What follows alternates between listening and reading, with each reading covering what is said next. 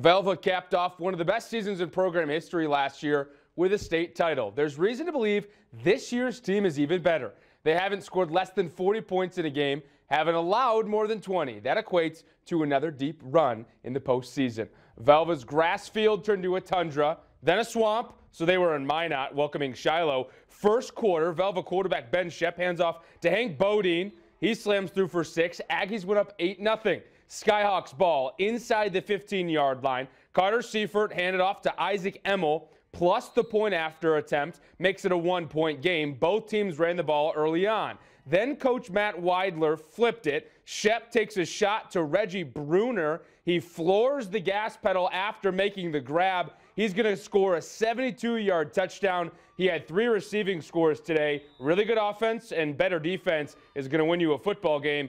Aggies are on to the state semifinals. They'll play the winner of this one. Killdeer is at Trinity. Trinity in the red zone here for the second time this game. Jace Kovash will look to do damage. He rolls to his right, fires to Jeremiah Jillick, who reels it in. Trinity gets on the board first. Second quarter now. Cowboys looking to answer back. This whole drive was full of quarterback keepers. This one results in six points. Tucker Bombach, he ties this game at seven points. Trinity hoping to take the lead before halftime. Kovash to pass. He's looking for Nicholas Sobolik in the end zone. This one's going to be picked off by Hayden Thormalen. Killdeer's red zone defense comes up big again. This one was close until the final two minutes when Trinity struck twice. They'll play in Velva next Saturday.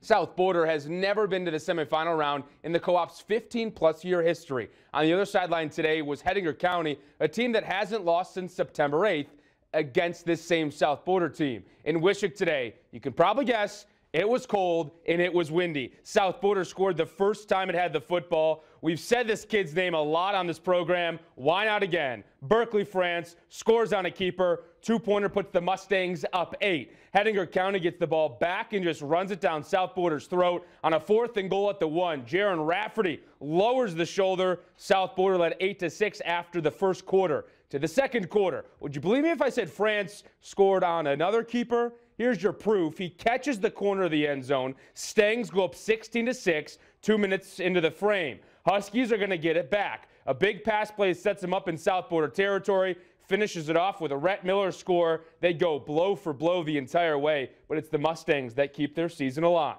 In West Hope, the Sioux host Grant County Flasher on a beautifully clear grass field. Just before the half, West Hope junior Walker Broughton reversed to Trayton Lehman. He's going to head for the edge, fights through the score. He goes for a swim in the snow. 46 nothing at half. A lot of push ups for these cheerleaders today. Five plays into the third quarter. Broughton, he takes the snap, hands it off to Brody Nordmark, makes it six more for the Sioux. Sioux were on top of everything today. The Storm looking to try to get something going in the passing game. He's going to throw it up as Javin Freeze, but Walker Broughton. It's his second interception of the day that comes down with it. The Sioux scored the game's first 52 points. They move on to the nine man's final four. The state cross country meet was moved to the one day event because of the snow this week. All four races were today. In the Class B races, Brynn Hansen wins her third consecutive cross country title. Jonah Njos wins the boys title for Bowman County. Class A followed late in the afternoon. It was all East individual winners. Owen Sondag of Fargo North, Jocelyn Schiller of Red River. Let's run through the top 10 team results, starting with the Class A girls. BHS, they continue to dominate. They score a 54. Williston is the only other Class A girls team in the double digits. The Bismarck Demons make it a sweep with the boys team also winning. All five scorers finished in the top 15. To the Class B girls, Bowman County takes first place with a 35. The top three teams ran away with the competition. And the Bulldog boys make it a sweep in both classes. They score a 36 22 better than Kindred. In volleyball, Dickinson sweeps, so do the Majets. Saints over the Braves, and Holsteins over the Raiders. Shann Schillinger and UMary football knew it would be tough this year and were going in looking to find any positives. Today, they had a chance to find that positive. Minot State is 1 and 7, UMary is 0 and 8. The trophy is a representation of the big lake between Minot and Bismarck. We start in the second quarter. Minot State up 7-3. Amir Bankhead, this is his longest rush of the day that helped him secure a 79-yard day. This was his score. This covers 53 yards. Marauders take a lead. They were up 17 to 7 at the half. Third quarter, Here's a pick six. It's Jacob Petrie picking off DeAndre, uh, Fair. Takes it 32 yards. Marauders were up 20 points. Minot State did not fold, though. Beavers, Sam uh, Buchanan, Lumbers, 18 yards. The first two touchdown for the Beavers, and it's a six-point UMary lead. Key play late in the fourth, fourth and two. Minot's Jaden Sparrow rolls. He look, goes for the tie, but it's going to be incomplete. The final was 27 to 23. UMary wins its first under Shann Schillinger.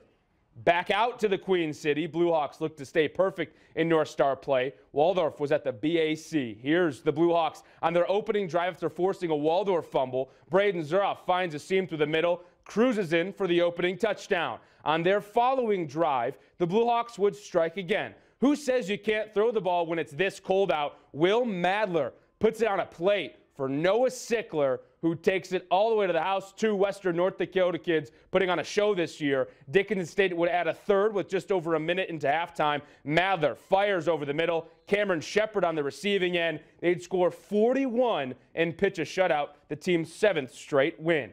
Fighting Hawks top winless Indiana State in overtime 36 to 33. Tommy Schuster throws four touchdowns. North Dakota State wins its second straight. That's two straight single digit defensive efforts to get on the green side of their conference record. A bit of Blue Hawk basketball today. The women move to 2 0, men fall to 1 1. Bobcats on the ice finish a sweep of Aberdeen. Hawks tie with the Mavericks up in Grand Forks. And UMary doubles up the number three team in the country. That's all for sports. We'll be right back.